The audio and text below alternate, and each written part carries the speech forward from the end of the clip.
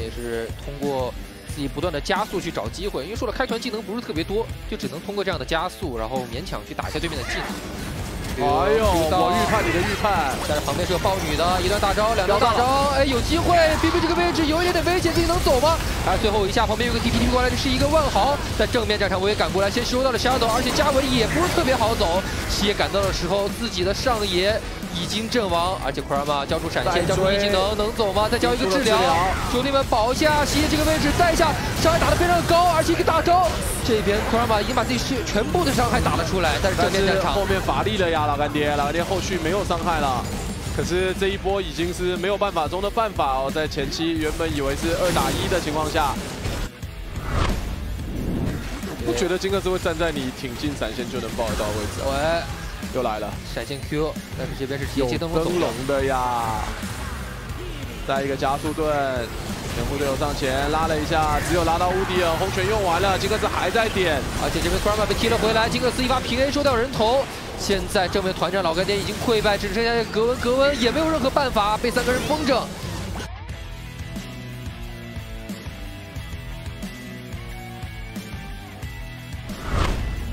先让小东北找找机会，手里的惩戒还没好，一个睡眠气泡睡到了，飞星拉过来，但是 R 技能 CD 没转好，不太没办法下去。龙的血量只剩两千八，女坦先指上来要瞄准的是对方的打野。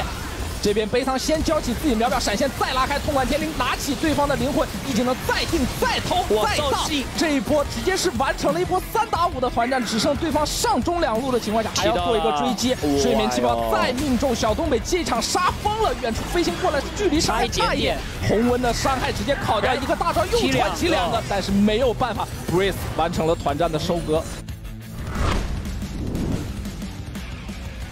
两千多的金叉，小龙马上刷新，指一下，指到，指到是一个 buff，回头勾勾到谁？勾到的是一个阿卡丽，哎，勾到是一个，勾到是一个 V，这个位置有一点点危险，但是 Krama 并没有阵亡，但正面战场老干爹已经处于一个崩溃的状态，卡莎没伤害啊，重点是，大家看到后排，哇，又被闪现收头了，Z 卡这里打出了 double kill，后来女坦大招定住了两人，能阻断追击吗？Z 卡能量已经回满了，盲僧又 Q 了上来，triple kill，感觉要夸抓 kill 啦。